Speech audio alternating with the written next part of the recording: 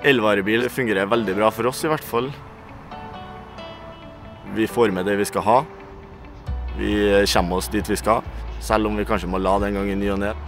Så det er jo det med rekkevidden at uh, i starten så er det kanskje litt uvant. Du må tenke deg om og planlegge litt mer. Men det er jo sånn som faller naturlig etter hvert.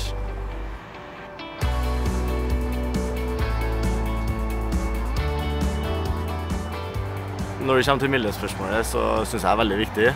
Jeg er jo fortsatt forholdsvis ung og skal ha den jorda her eh, noen år til. Så for min del så har det veldig mye å si. Og for mine egne barn. Og at vi bidrar med det vi kan.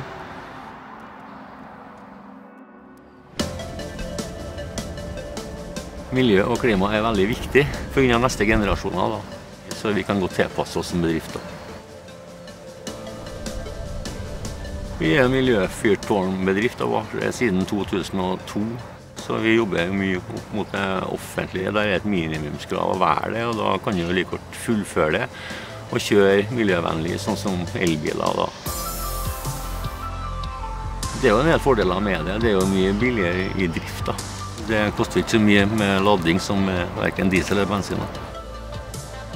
Tidligere var det jo mer goder med bom og parkering, men sånn totalt sett så er det god butikk å kjøre el.